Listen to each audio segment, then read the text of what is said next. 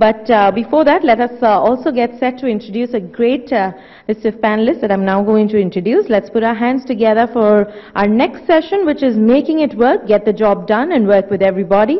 I'd like to invite on stage our panel chair, Mr. Somil Shah, partner Ernst & Young. Let's put our hands together as he joins us uh, on stage.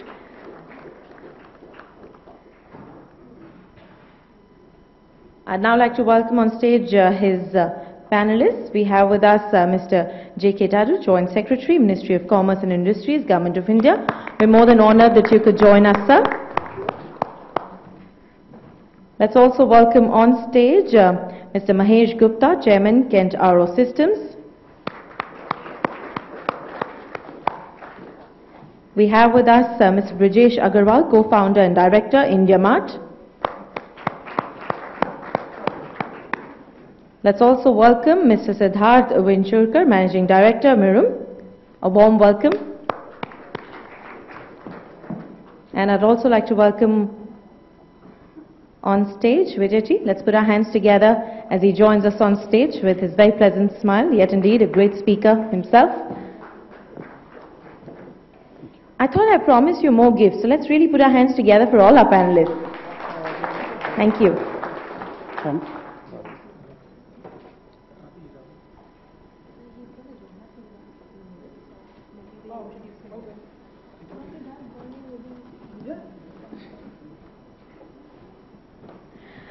Well, uh, I'd also like to invite on stage Mr. Ravi Narayan, Director, Microsoft Ventures. A warm, warm welcome to you, sir. We earlier had a Microsoft Ventures uh, workshop.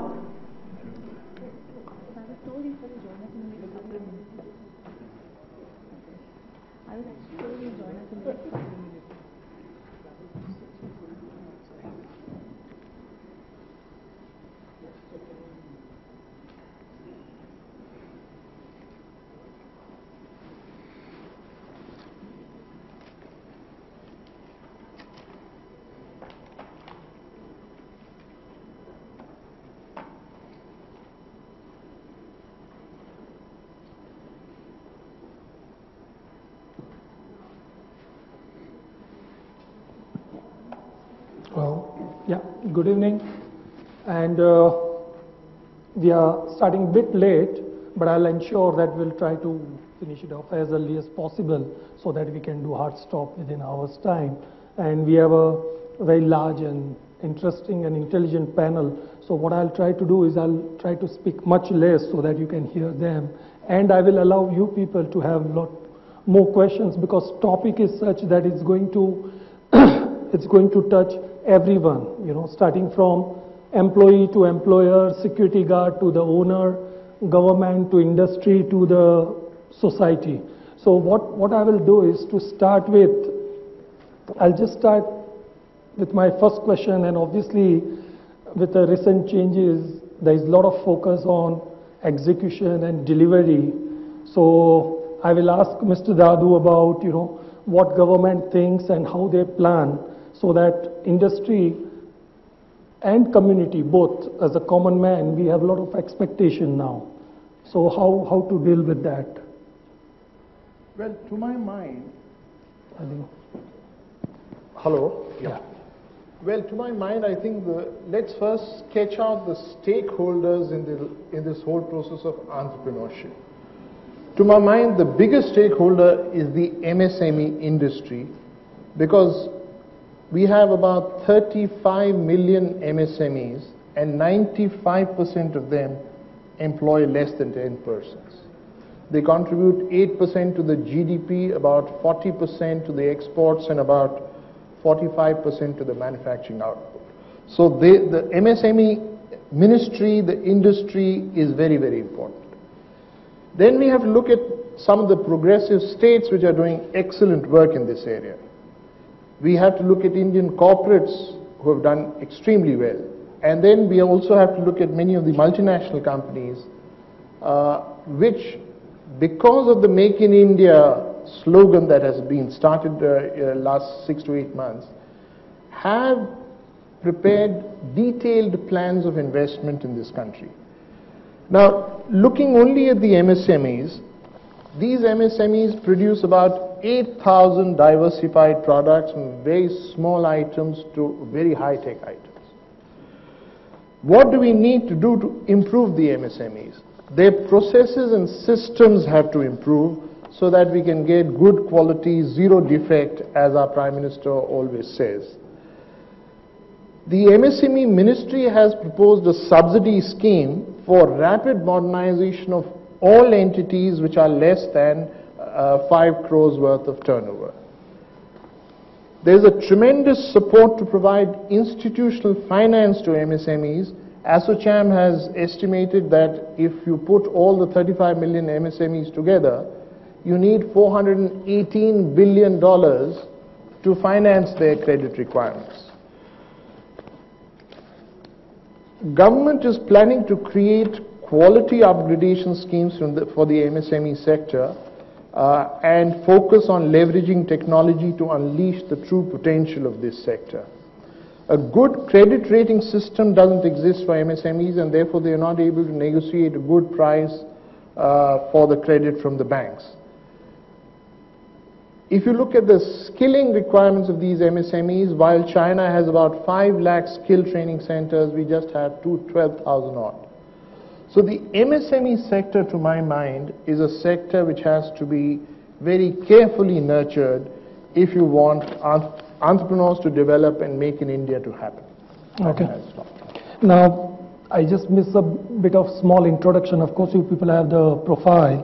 But to start with, Mr. Dadoo has a 15 position in last whatever his career 30 starting 30 years starting from Arunachal to Goa to Delhi to Moscow at the Mr. Mahesh Gupta as people know is a pure waterman then Ravi is a black belt in martial arts I'm not going to talk about you know their typical profile but what's what's interesting about it uh, Siddharth is the youngest MD of JWT at the age of 29.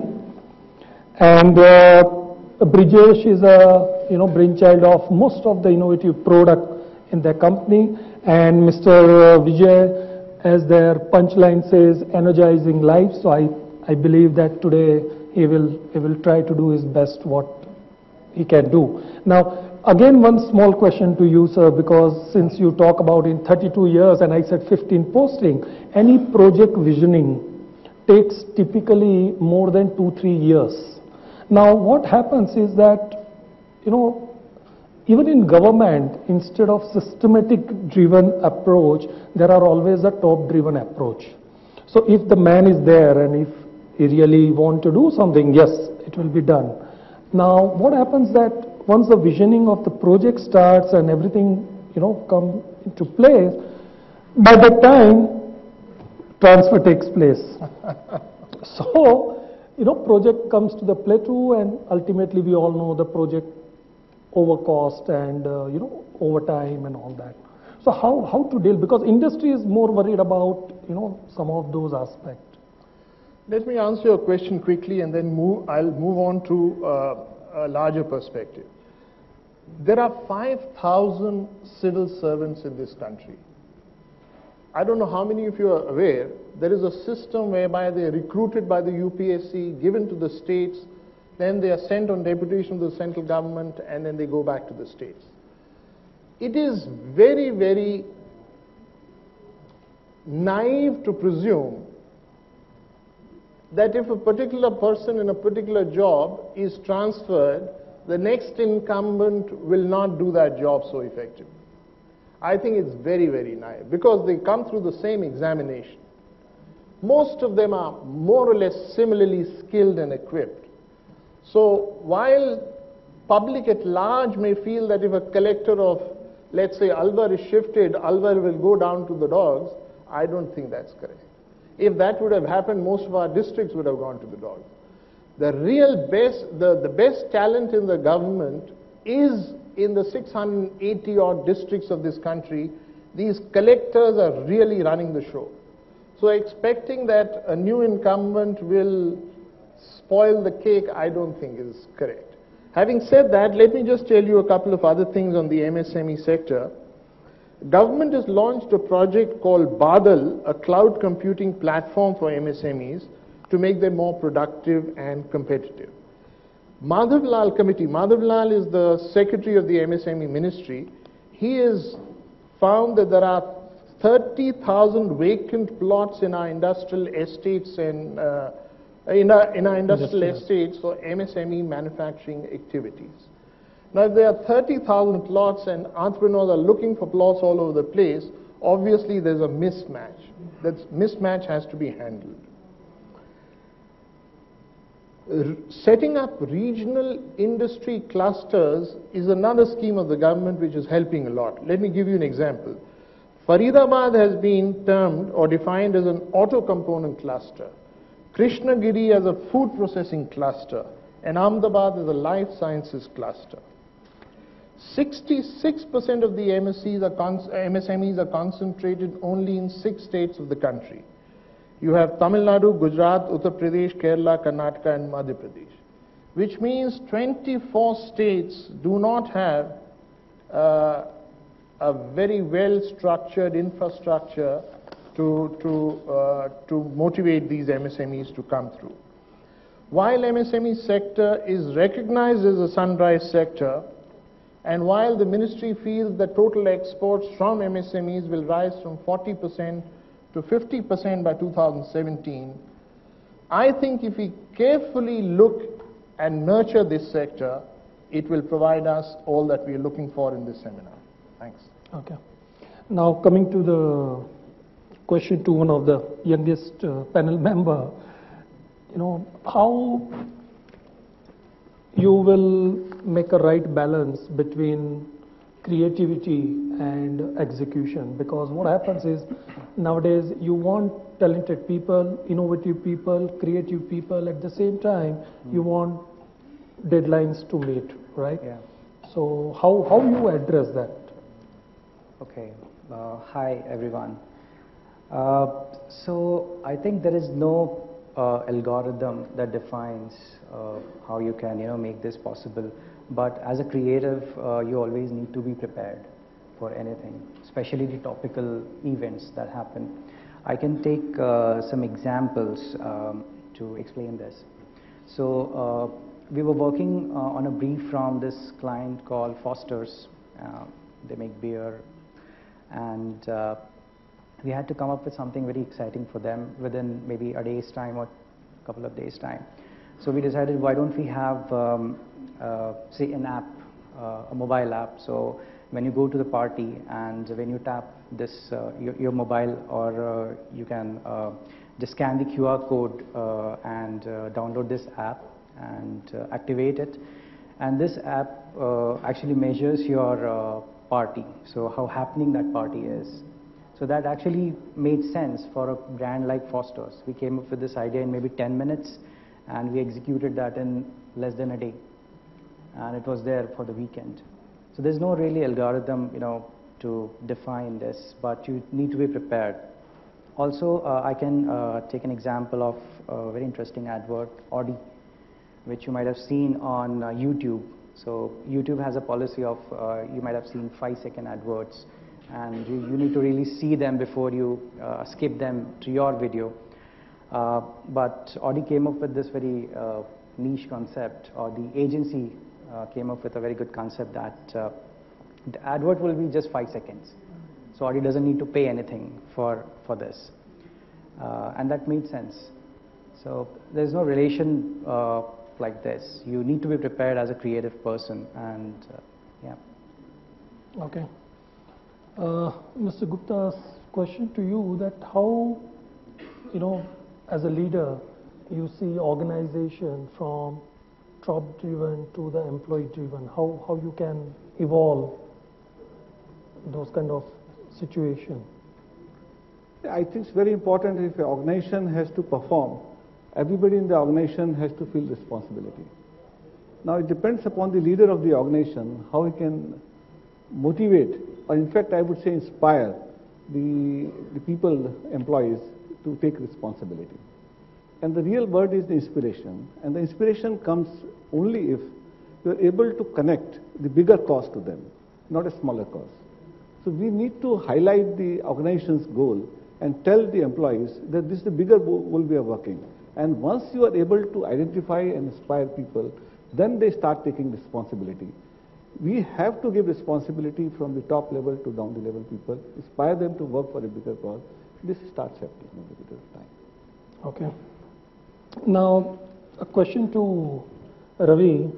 In today's scenario, you know, the changing uh, scenario and the dynamics, the way things are moving, how, what, how, how you will approach in terms of hiring the people and at the same time retaining them because at the end of the day to get the job done it all depends with the people whom you hired nurtured over a period of time so how, how you will see in terms of hiring and then retaining them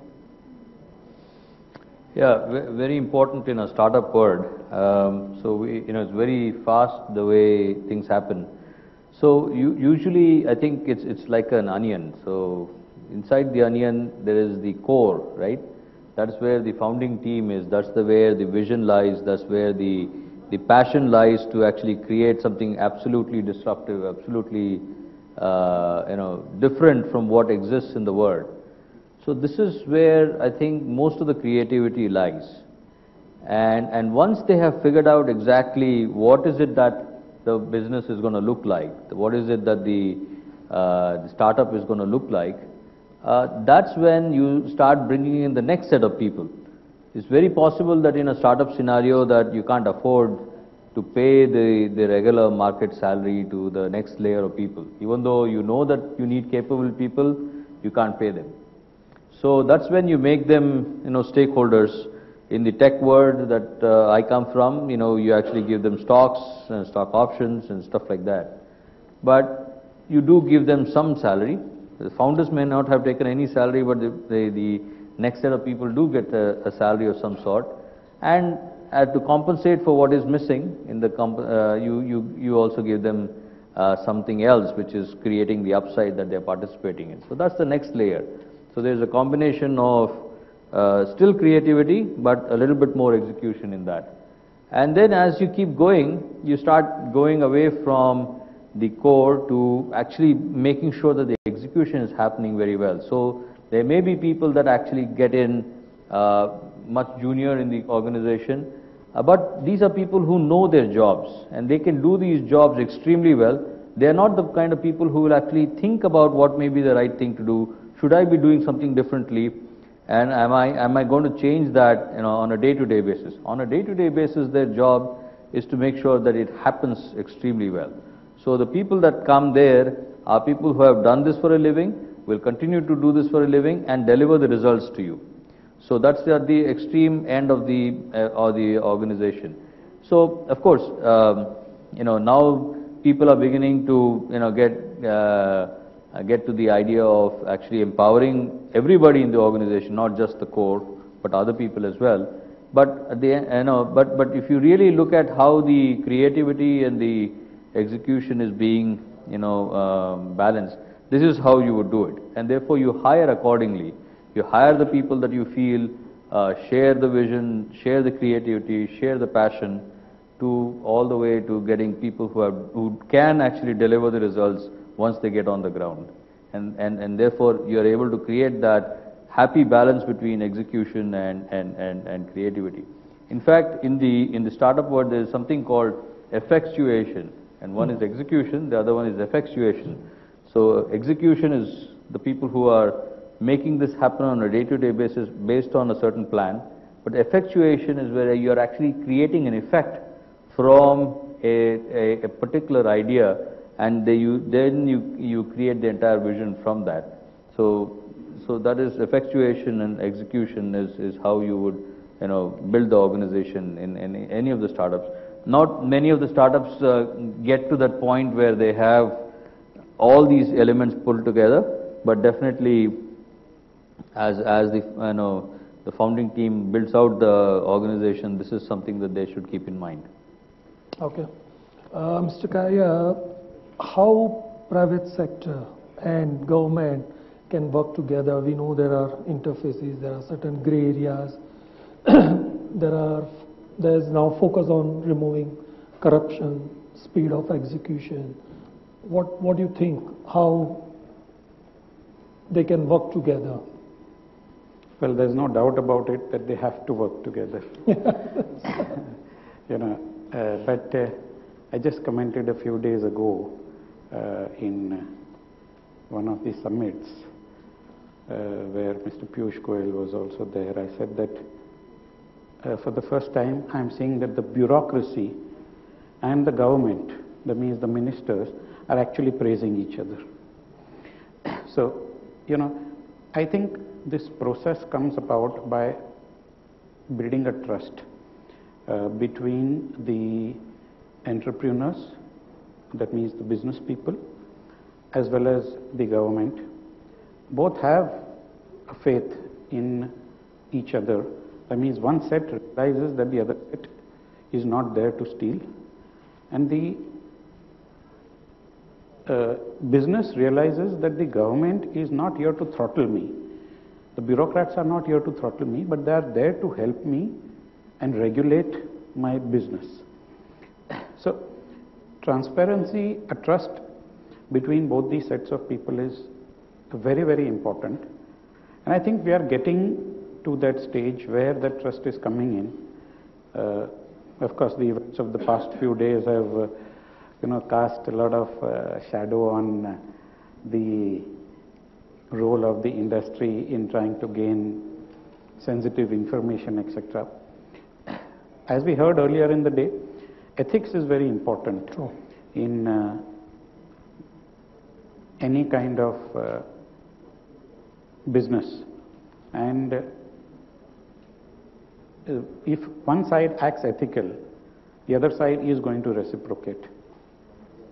So, in this short and sweet balance which uh, the private sector needs to do because it needs to approach the government for policies, for uh, assistance in getting the business done.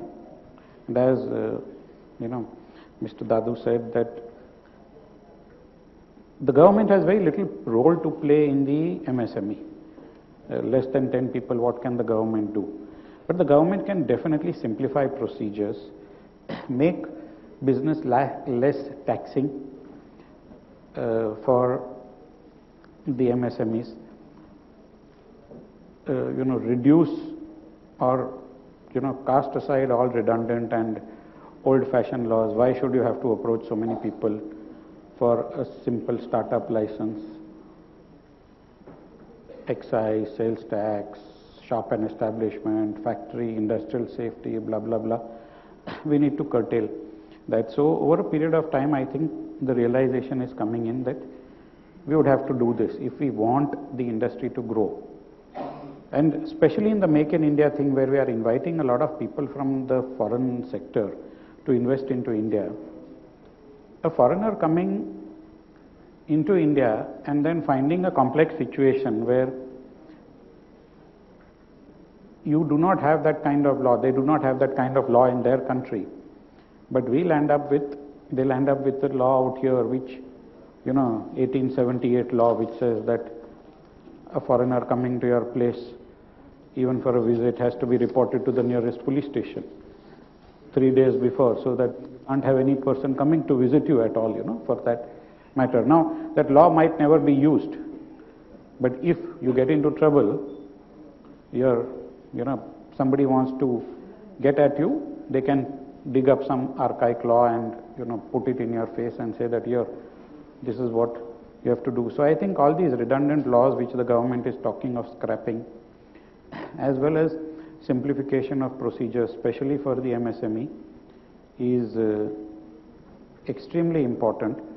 And uh, uh, I think the Ministry of Commerce is really helping the industry uh, in the sense that the government wants to make sure as to how the Indian industry, how the Indian sector can be competitive in the world environment. And that's a very big uh, impetus to the industry. So, the partnership is, has been forged and I think it will strengthen along the way. Both parties would have to work hand in hand to uh, achieve it because if we do not, then there is no way that we can really fructify the dream of Make in India because most of the people, most of the large industries have got major part of their revenues outside the country. Today, if they are to bring it back, then the government would have to work in partnership. So I hope you are not saying that being an entrepreneur, you have to be either lawyer or chartered accountant or, you know, At the current moment, yes, you do. Uh, an entrepreneur has to be a lawyer, he has to be a chartered accountant, he has to be a finance man, and uh, office boy, as you correctly said, yes, and, and maybe sometimes the driver also. Uh, in this whole thing, I think the technology part, which we are saying is so important for startups to focus on. You know, you have to have your technology, you have to, an entrepreneur, a technocrat, does not know the law, does not know if he crosses 10 people, he's supposed to register for the Provident Fund. As some years ago, we had, you know, tax on expenses also. Some laws come in with retrospective effect. So, all these kind of things do cause a lot of uh, jitters in a small time entrepreneur who just wants to do his business in a clean and simple manner. He's got an idea, he's got a passion, he or she, I'm saying, has got that passion, they want to achieve something. But the circumstances, the rules, the regulations, they go to a bank, the bank says, okay, you fill up the 1000 documents and give it to us, only then we will open your bank account. You, you require this, this, this to get, uh, you know, house on rent. You require a local ration card or something, something, something. So, I can see a lot of people nodding their head, so it's hitting somewhere. Uh, but uh, I, think. Sorry, somebody switched off the mic, is it? No, Okay. Uh, so I think we need to introspect, and we also need to point out, as uh, uh, citizens of the country, we need to point out what we think the government needs to change. Uh, because unless and until we don't point out our area of angst, we don't point out where the shoe is pinching, how would the government be able to rectify it? So I think we, we, we also owe that responsibility for the feedback to the government. I can add maybe a Yeah. couple of uh, points to uh, the same uh, statement. I So, think now mic is, uh, is it, is it on? I can hear you, but I don't think the others can. Uh, can Can you you- hear me? Yeah. Okay. Um, so the problem is not uh, the rules which are there, but also the rules which we are not aware of. And when we talk about skill development, uh, I'll quote a case of creative that's lacking in India, and I'm being brutally honest about that. We don't have good creatives here. And to sort that out, I invited our creative directors from the Finland and UK offices to visit us and spend some, some time with my team. And we were not aware of the fact that when they come here, you have to register them within 24 hours. And uh, we, we couldn't follow that. We couldn't respect that because we, we were not aware of the rule. And it took us almost four to five months to get sorted. So we couldn't do the training. All our focus, my focus was into going to police station, meeting the inspector, and getting his sign, and going to FRO, meeting the commissioner. We wasted four to five months, and we really couldn't do the skill development here. So that's also one of the aspects which we really need to look at. I agree.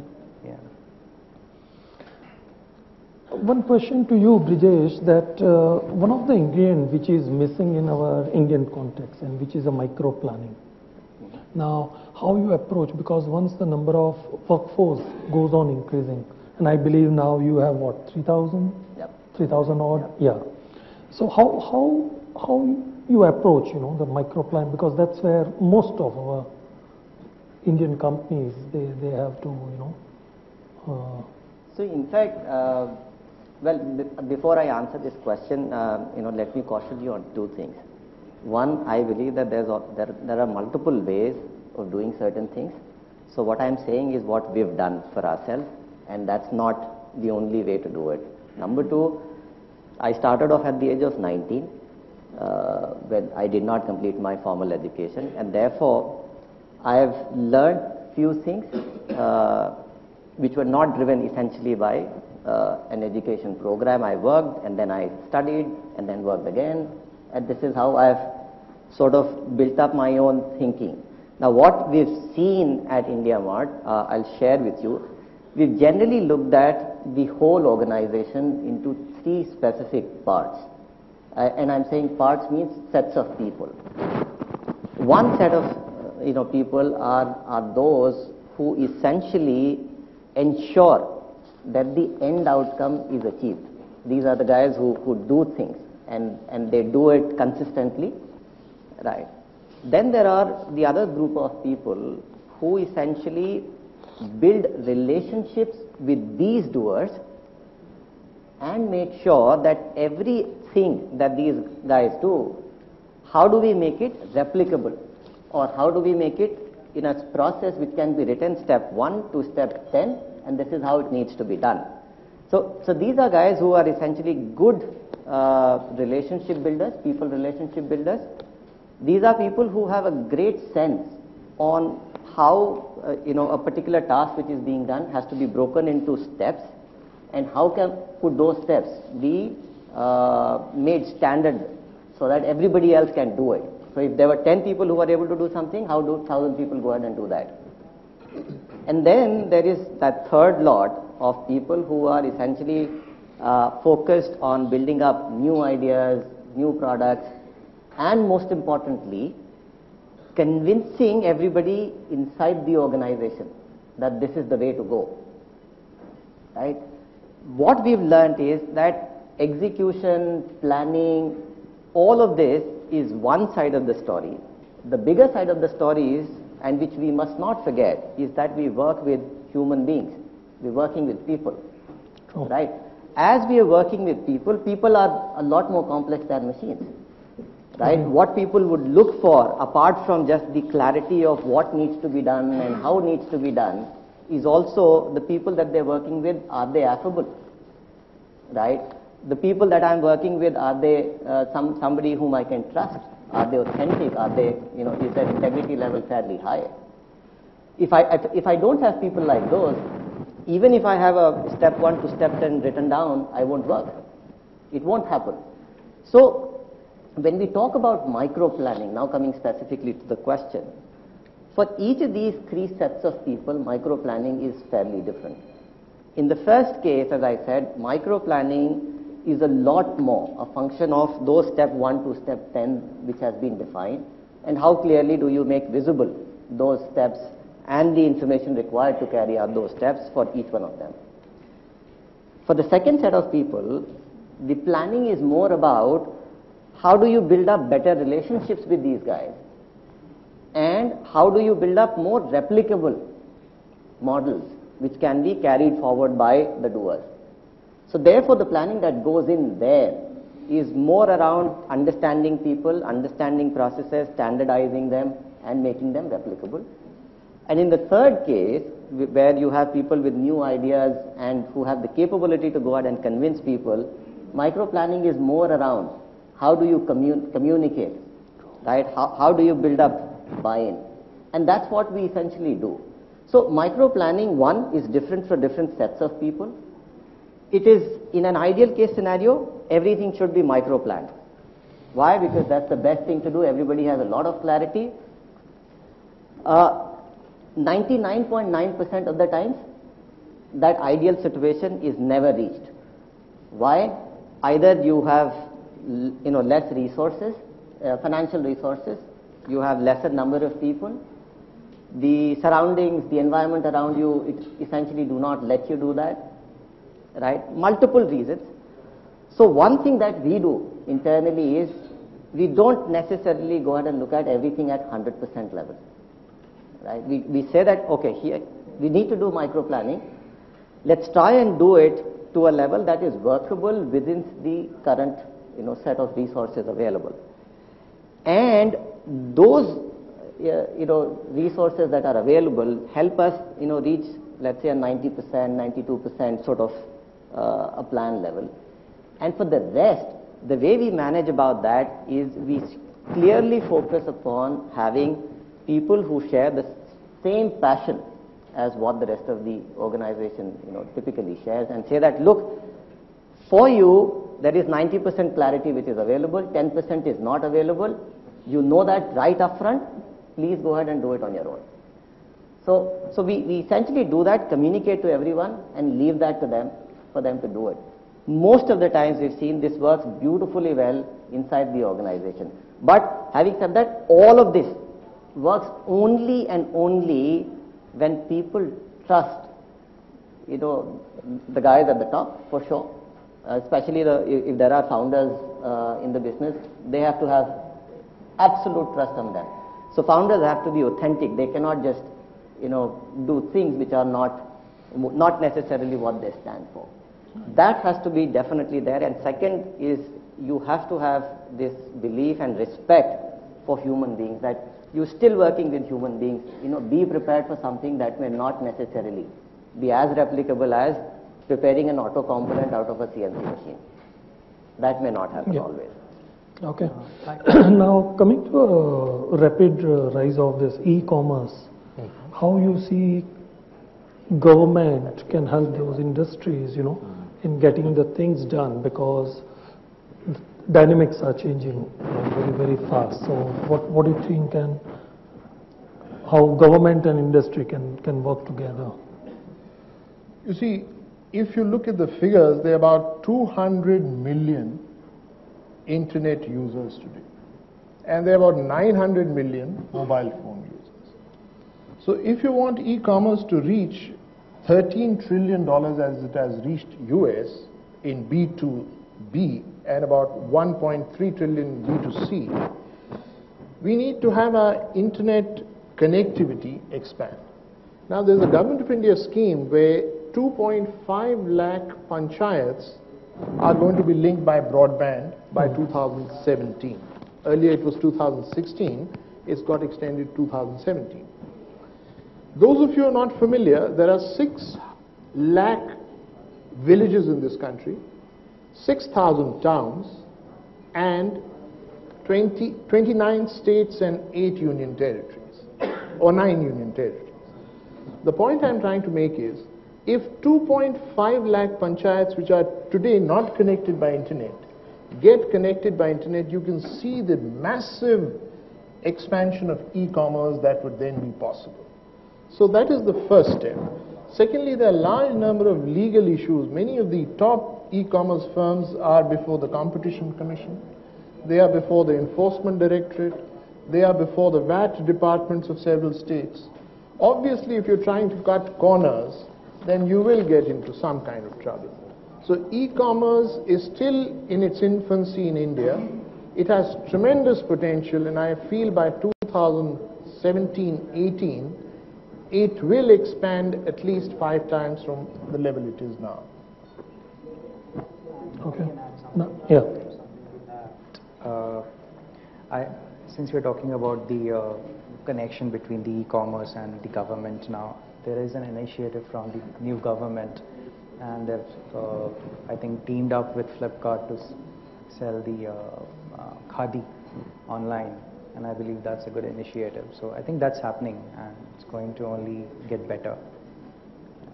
Uh, You know, can I just add Yeah. to this? Of course, because we are one of the e-commerce companies, so let me present something from our side.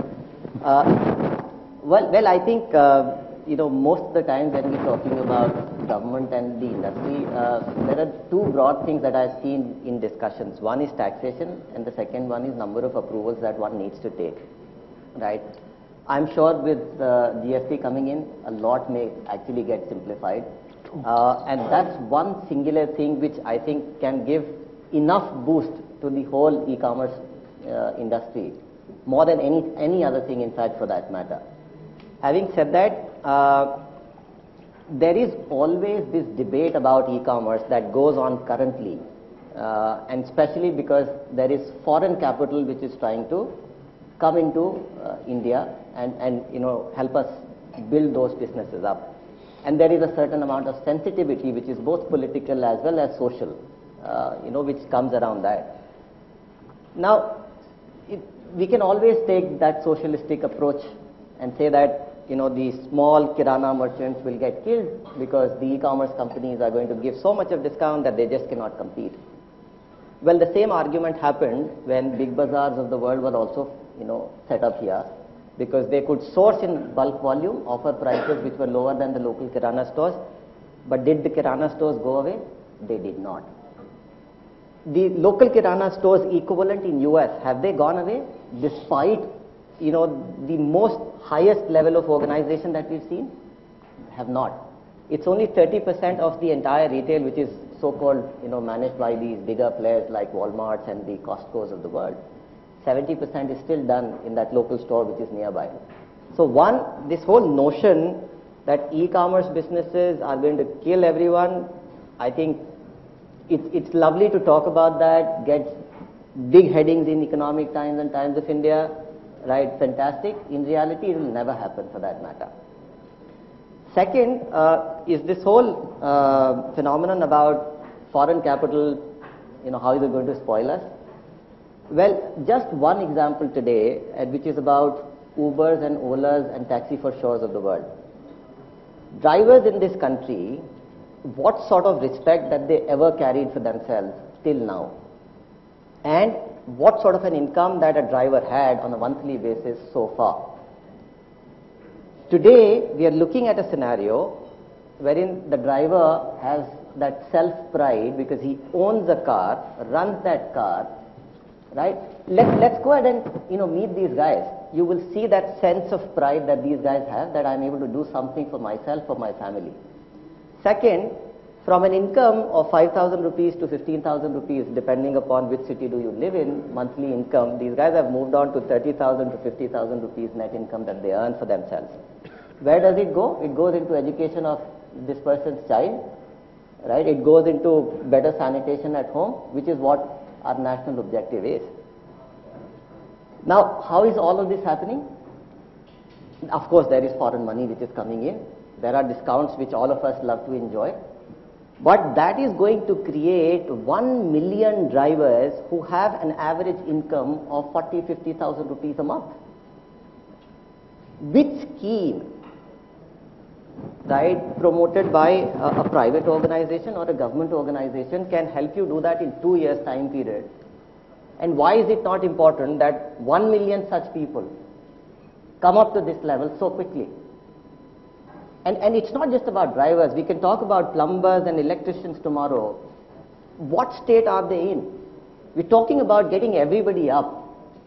If that capital helps us do that, let us do that. Otherwise, these Indian businesses that who sit here, who crib about this foreign capital, who are so afraid about it, and the socialists who crib about this, you will not be able to do it for those millions of people. We've spent so many years post-independence trying to realize that dream that Mahatma Gandhi had. We have reached only a certain steps. There are a lot more for us to really cover up. If that helps us to do that, I think we should really go about doing it and not get into that debate of what is good, bad and ugly here. Yeah. I'd like to add only two points into this. Uh, E-commerce is in two areas. One is the service area, second is the product area. Yeah. Well, what you have talked about is the service area. It's a wonderful area to work on. Second is the product area.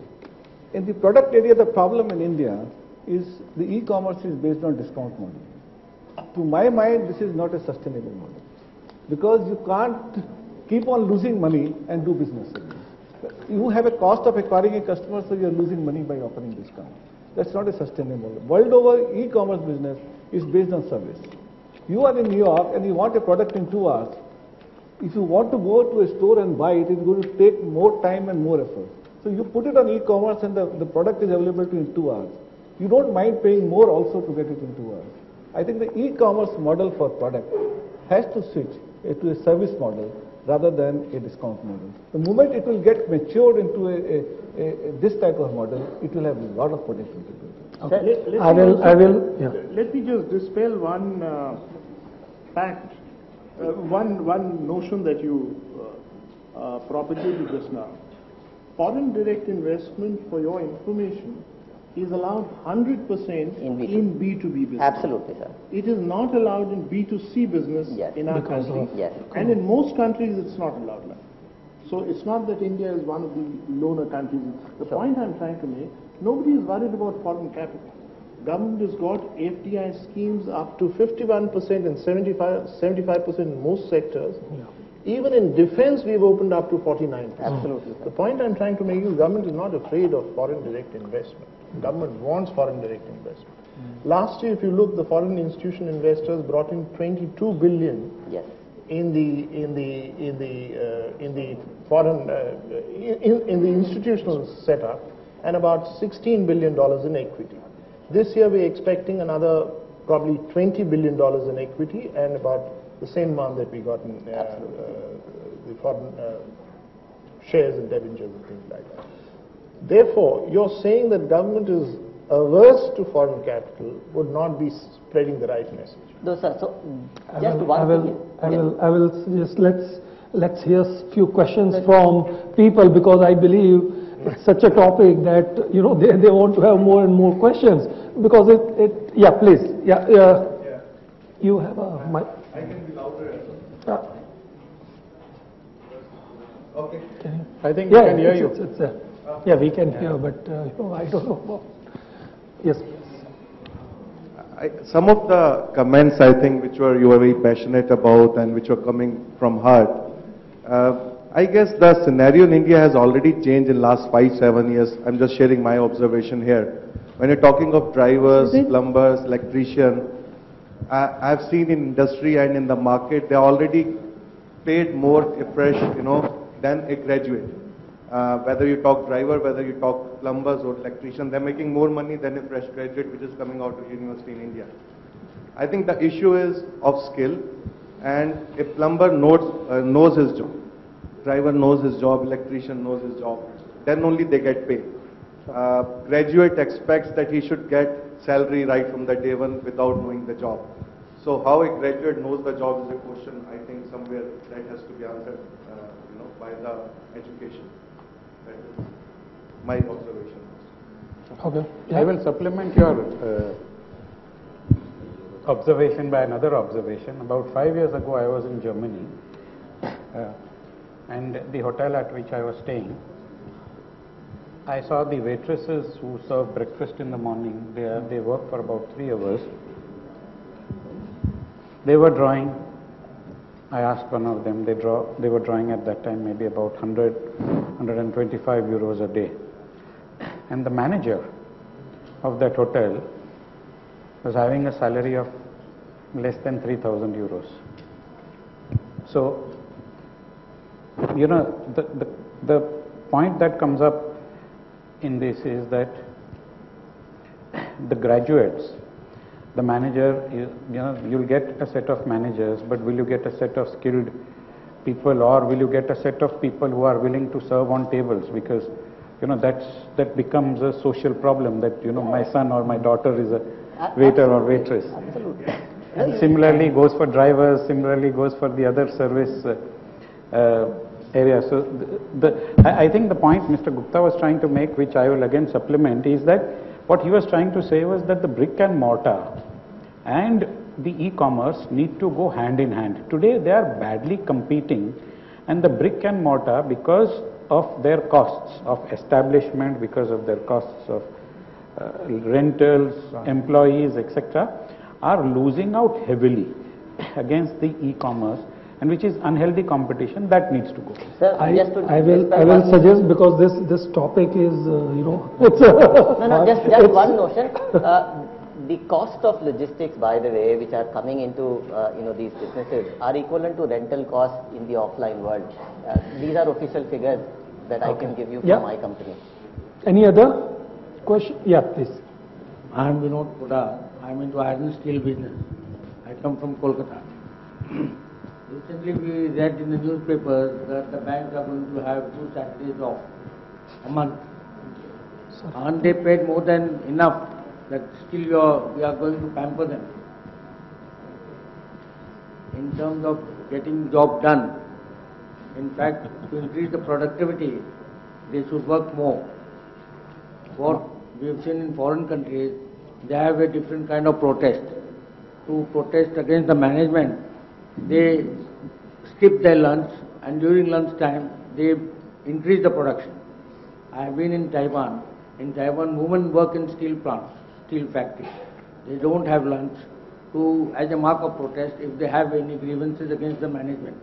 And here, we have uh, people working less and being paid more, and even then they are, they are not satisfied. I can assure you the nationalized banks will not give Saturdays off. I don't know about the private banks. Instead of four Saturdays, they are only having two off. You know, bank is such an industry, sir, which needs almost 24 into 7 service. Don't worry, sir, you will have digital banks fairly soon. You wouldn't need to go to branches at all. Yeah.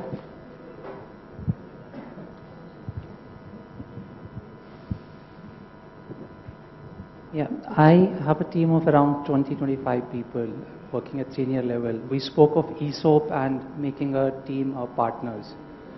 My question is, whenever I read about or hear about ESOPs, I really wonder what can I give each of my team member. I really want to make them partners so that they become owners and they take my organization to the next level. Question is, if there are 20 people, how do I spread partnership amongst them? What exactly ESOP is? Do we offer 1% to each, 2%? What is that? Ravi? Yeah. yeah. So I, I can tell you some of the norms from the tech industry, um, which is which is a, a very, uh, I think, uh, an American idea that has been borrowed here, and you know we have been able to implement some of it to some extent, not necessarily uh, the way it has been implemented uh, in, in, in, in the Western world, primarily because of uh, you know certain regulations and taxation issues. But to the point of what is possible, um, obviously, you know, uh, it's, it's all about uh, equity, right? Uh, when you look at the future and see who is uh, going to make the uh, biggest impact for you in the future, obviously the, the founders and you know some of the other people are the people who actually started this and continue to hold the you know the the power to make it happen in a much bigger way but then to empower other people to also share in creating that future with the uh, the the founding team it usually means that you need to give them some part of that equity as well. Now, mathematically, it would turn out to be anywhere from 5 to 10 percent that you can set aside and say, these, this is the kind of uh, shares that are owned by other people, employees, and you don't need to allocate all of the 5 percent immediately. You can do it over a period of time and it vests over 4 years, whatever. But the fact that you're giving that and saying, I want to share the ownership, share the, you know, the responsibility in creating that future, you have actually set that aside. And, you know, from that pool you draw upon, you know, some amount for a senior member, a lesser amount for a junior member, but at the end of the day, that is the kind of equity that you are trying to uh, create in that, uh, in a partnership that you want with other employees. Does that answer your question? It's at the, at the high, at the high level. Depending on the industry, depending on the kind of companies that you're creating, that could vary. Maybe I can also So- add uh, yeah. something to that, that uh, maybe not uh, from the financial perspective or monetary perspective. Are you the founder and the uh, owner of this business, I suppose? So uh, there is also a way to, you know, uh, make them work along with you and that is to empower them. ESOPs doesn't work always and also not in every industry. So you empower them, you know, make them leaders. They don't have to be junior or senior leader, but uh, and uh, make them take ownership of projects that you work on. For example, I believe you are into architecture and design. So make them lead some projects, let them do some mistakes every day, but not let them, you know, repeat the same ones. So that is one way to, uh, you know, bring them up. And for example, I offered equity to one of the guys, one of the tech guys, uh, but he suddenly decided to leave the company and we did not have anything. So what would you do if you give somebody 10% equity and they leave after six months? Then it's stuck forever. So there are ways apart from, you know, financials to keep them with you. Another point that I, I, I would like to add is that ESOPs for MSMEs is not a viable option. It's very complicated Yes. in India. A better thing to do is to give them a share of your profits. You know, which, because ultimately what you are trying to do by giving them ESOPs is trying to bind them and, you know, make them work harder so that they earn more profits for you. So make them partake the profits. If you try the ESOP scheme, first of all you have to be a listed company. The second is it's too too complicated. Yeah. Third is you cannot issue equity shares just you know of your own without now the government guidelines are there. I am saying this from experience. We've tried it quite a few times and dropped it every year. And let them take decisions. You know, that really helps in boosting the morale. Yeah. See, just two things, by the way. Uh, you have to figure out what do you need to do uh, for the people. Is it compensation or is it real involvement, recognition that you are owners, right? E- Yes. Okay, so ESOPs generally have been used more as a compensation tool. You know, I can tell you about that. Uh, all said and done, it, it works very well when you are looking at a high growth company which has valuations just keep on going up. You, you, you reward them, give them enough monetary uh, reasons to stick with you. When you talk about building up that sense of ownership, while this could you know, give you some bit of help, but the biggest help comes in in the form of the actual recognition inside the company as, you know, both of them have been mentioning. That's something which is very, very critical. Right? You have to make sure that these guys are, are, you know, privy to everything that you wish to do inside the organization. They're a part of that visioning team which decides what needs to be done. They're made to be felt special in front of everyone who are there inside the organization. So it's more uh, psychological rather than just compensatory stuff. Yeah, sorry, standing for quite some time. I think No, the mic is not working, but you're audible for sure. I just want to know what are the places where we can go. I have an idea in mind. I, I want to know what are the places I can go in order to get some mentoring on entrepreneurship, in order to get some training on uh, the basics of entrepreneurship. I believe uh, EDI, ideas can work well. one is, uh, I think Mr. Avasti was there, right, in the morning? From the EDI. Another gentleman, Ravi is there. So, So, so uh, I think, you know, in, uh, in uh, several different uh, cities, you have, uh, uh, you know, organizations such as TIE, right, the Indus Entrepreneurs, uh, and then you also have, uh, in the tech world, you have NASSCOM and so on and so forth.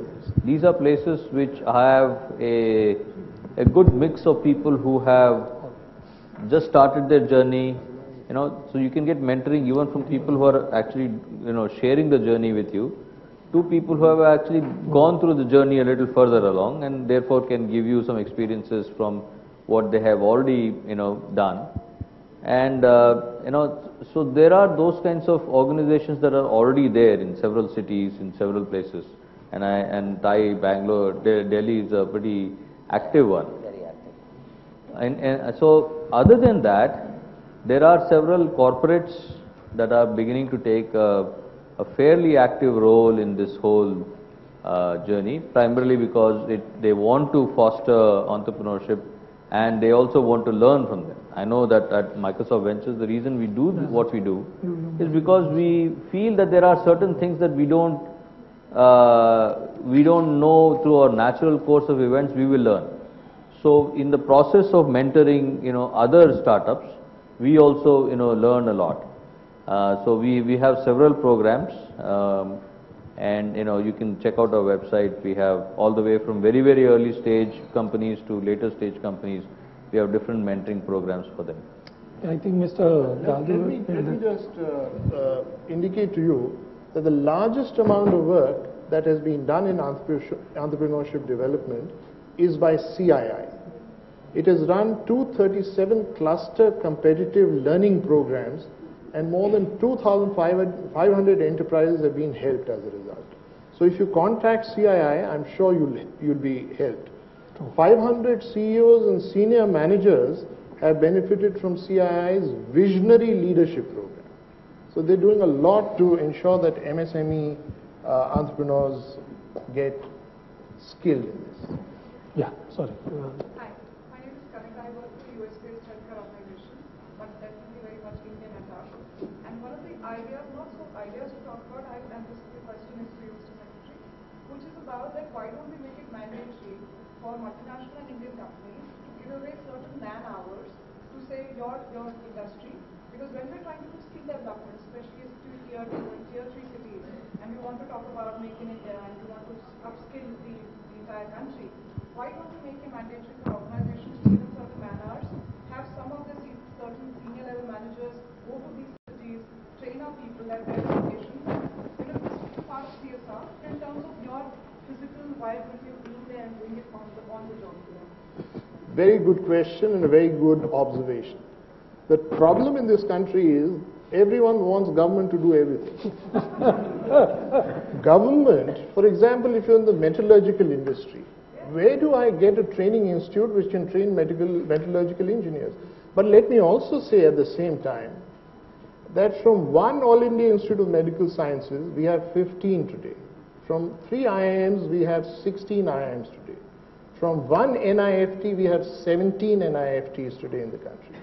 Government is trying to expand the training programs and training institutes to the extent it, that's possible.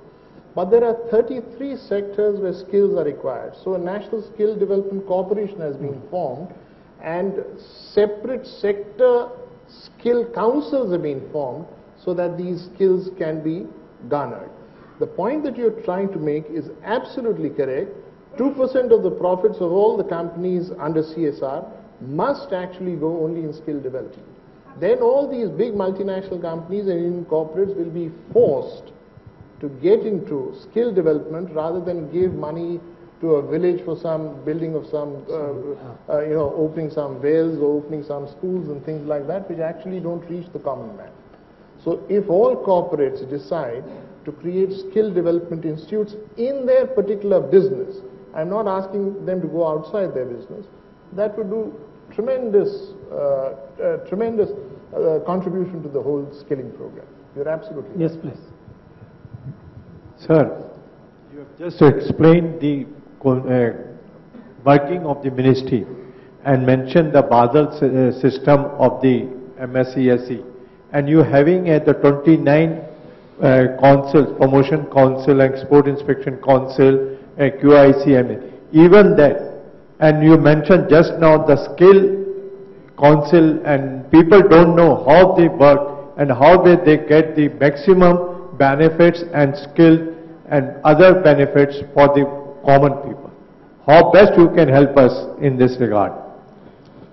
You see, if you belong to a particular sector, there is a sector skill council already in existence, 33 of them.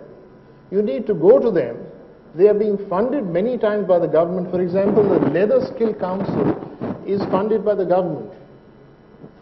Uh, Footwear Design and Development Institute, there are 12 of them. We are doing a 2 lakh skilling program, bigger than the one that you mentioned for drivers, incidentally. 2 lakh people are being trained to make footwear every year, additionally.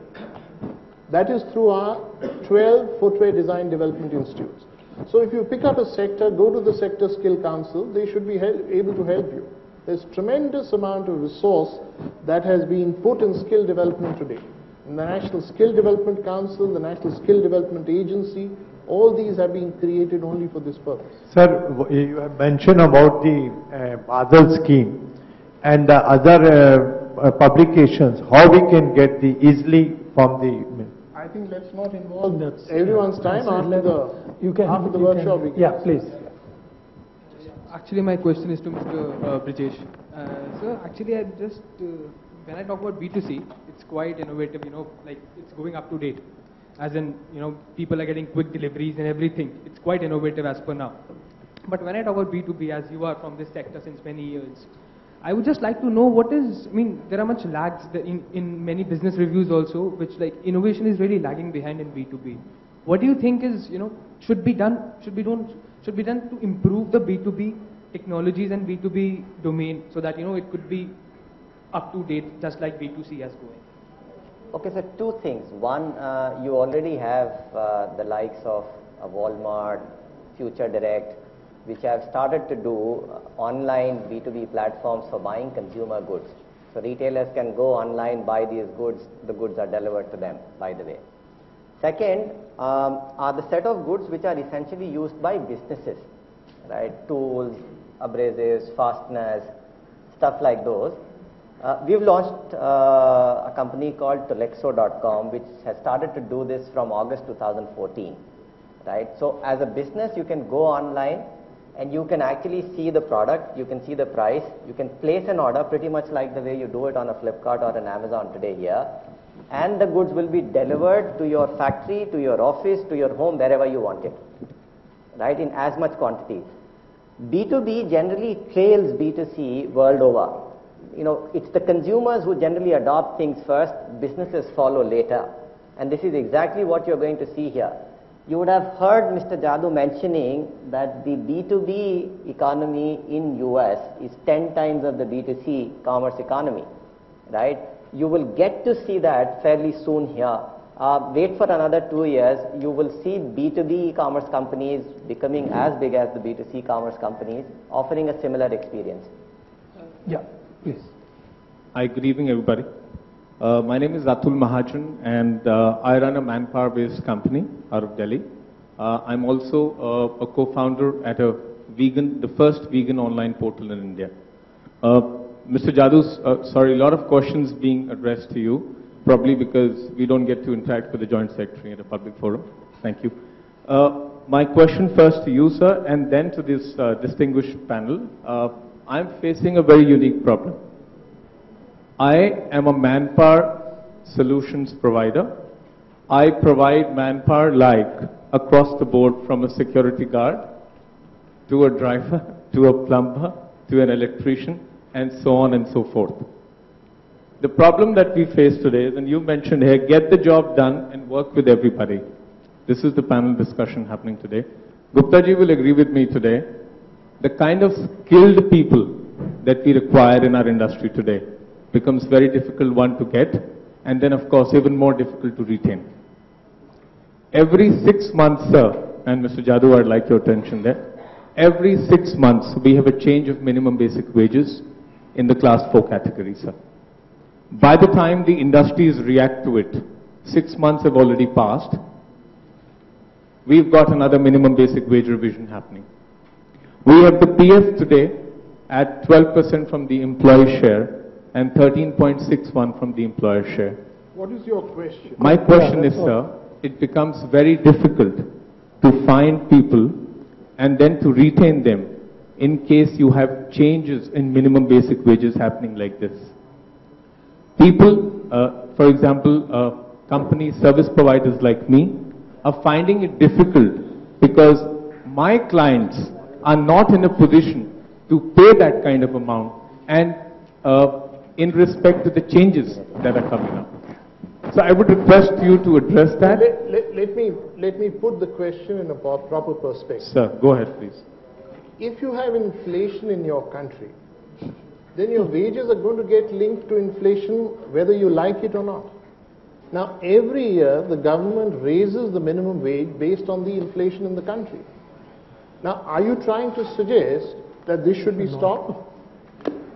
I mean, I'm not able to figure out what you're trying. I'm not- The, the government servants gets what, what is called a dearness allowance Sure, based sure, again on. sure. just give me. The point is, out. sir, that the industries at times are not able to pay that amount, unfortunately. So the problem, sir, please hear me out. The problem is that while we are raising the minimum basic wages as per the stipulates of the law, the industry where we are providing manpower at times is not able to pay that. Why? Because there is a variance. The moment it happens, they're not able to take that change into cognizance. And six months later, you have another change happening. No, it doesn't happen every six months. Government is not so efficient, let me tell you. It happens only once a year. It happens once a year and- it will happen once a year because... April and October in Delhi. Please understand, the class four person who has a big family to support cannot take that inflationary pressure on himself. Government will have to provide for the uh, raise in the minimum wage as per the inflationary pressures on the country. I'll request other panelists also to answer that if they can, please. Yeah, I, I, you know, I, I don't think that this is something which, which is the right question to really say that minimum wages for people go up and therefore businesses become irrelevant or, you know, they, they become financially unviable. If that is so, please get out of that business. Right? You have to You know- obey the laws of land. And if the law is that minimum wage has to be paid, it has to be paid. Absolutely. And it's question of demand and supply. Like if the, the, the, the worker is able to get this money, he will be entitled to this money. It's so simple as that. And Yeah. actually also it's a question of the skill sets. That means if the person is skilled, he will, he will get much more than the minimum basic Yeah, it's, it's wages. a minimum wage, it's not the maximum wage. So you can. Yeah. And, and the good thing is, it is, uh, if it is increasing, it's increasing for every entrepreneur. So whatever tax you are paying, I have to pay that, he has to pay that. You don't have So- to pay that. I'm not paying. You're So- taking a different level of people altogether. Yeah, question from, uh, okay, yeah. I'm- I'm- Let the lady take the. Yeah, that's, yeah, just, Good afternoon, everyone. My name is Somya. I'm the founder director at a CBSE school for the past six years after I completed my education from IIT Delhi. Uh, my question to uh, the young entrepreneurs, the two of you, is that uh, a very big difference that I've noticed in our country and uh, while I've been abroad is that uh, in our country, if there are 10 people who are doing some work, then there's a manager required to check whether those 10 people are doing that work. Then there's a senior manager required to check whether that manager is checking those 10 people. And then there's a CEO, then there's another person that's required. So the same work is done by, that should be done by 10 people, that is done by 10 people in other countries, uh, is done by a lot many people and leads to a lot of overheads. How do you control this kind of, uh, I would say, attitude problem amongst the people who are actually doing the work in your organization? let me tell you from consulting perspective. Few years back, I was talking to industry and at that time, they really didn't feel hit. But today, any damn place I'm going and meeting any CEO, MD, board, their only concern is manpower cost, right? So yes, what you are saying, now people have realized it, yeah, but still, if, if anyone Yeah. wants to, you know, Yeah, I can address that because I've uh, been setting up companies and uh, stuff like that. So it's never been a concern for me, to be honest, because I, I've played a lot of roles. I've been a very junior person to a CEO level guy. So it's all about, if you talk about like, you know, difference between us and the other countries, um, it is more uh, of a cultural difference uh, wherein uh, we don't even like to pick up the phone on the next desk. It doesn't happen there. So my my boss, who is like the group CEO, he even cleans the dishes in our office. So do we. So uh, and I don't have any manager in my company. We have a very flat structure. Um, it's myself and everybody else. Uh, an intern, a senior developer, an artist, art director, XYZ. Uh, well, how we work is, um, as I told the gentleman, uh, I believe in empowering my team. I clearly tell them what they need to do, and they're free to take decisions. They're free to do mistakes, and but not repeat the same ones. Uh, so the best thing is to delegate responsibility and empower them, make them decision makers, no matter how junior they are, and let them do mistakes. Uh, but you cannot delegate accountability, that remains with you. So you can get rid of all these managers, middle managers, I mean, no offense, uh, but uh, yes, there is a way to deal with it. You need to empower your team, you need to trust them, and they should know that you believe in them. That's the way I can recommend. Do we have a few minutes with us? Uh, Unfortunately, Yeah, yeah, you, you, you'll have to tell us. You, You you know, govern us. uh, yeah, there was a last question, at least that gentleman was, you know, let's, let's phrase that.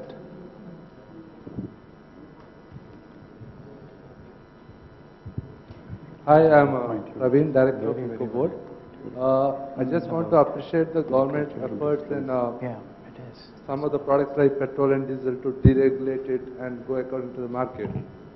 So, as an entrepreneur and uh, running a business, we would like to see similar reforms in other critical sectors like chemicals and steel industry, where it is more flexible and also it is more transparent.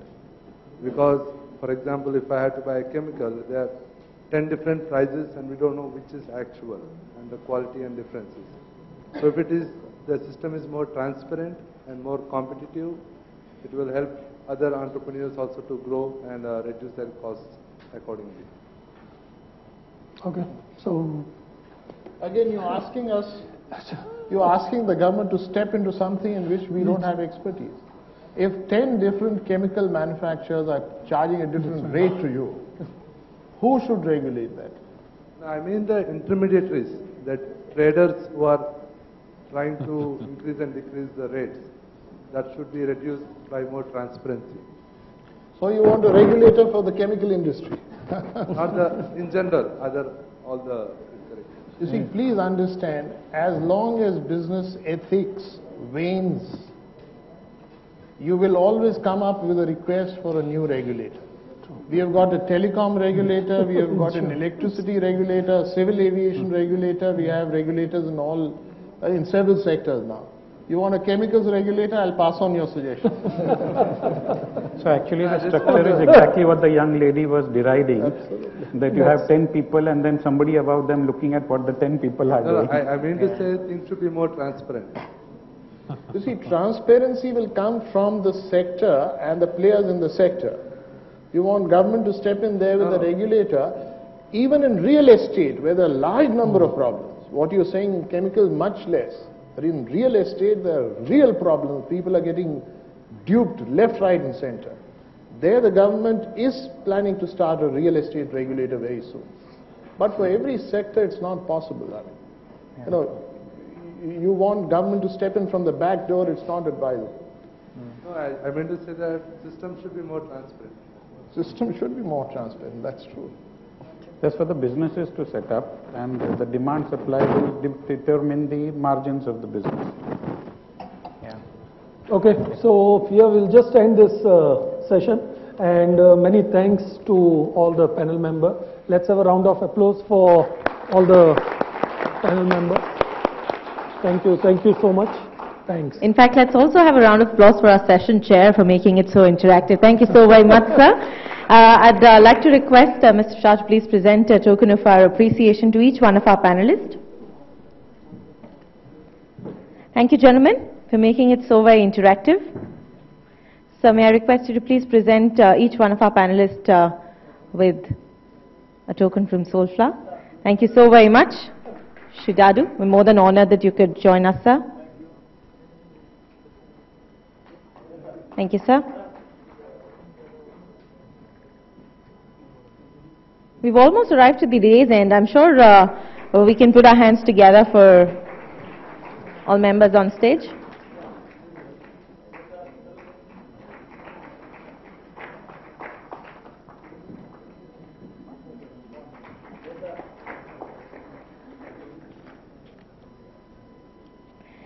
And Rajesh, uh, may I request you to please join us on stage and thank our session chair.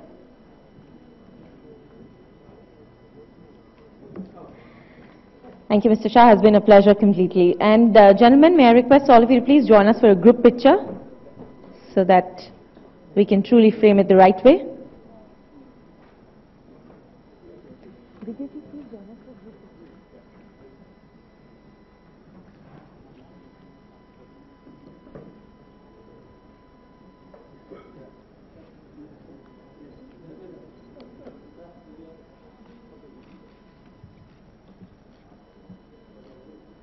Thank you, gentlemen. Has been a pleasure.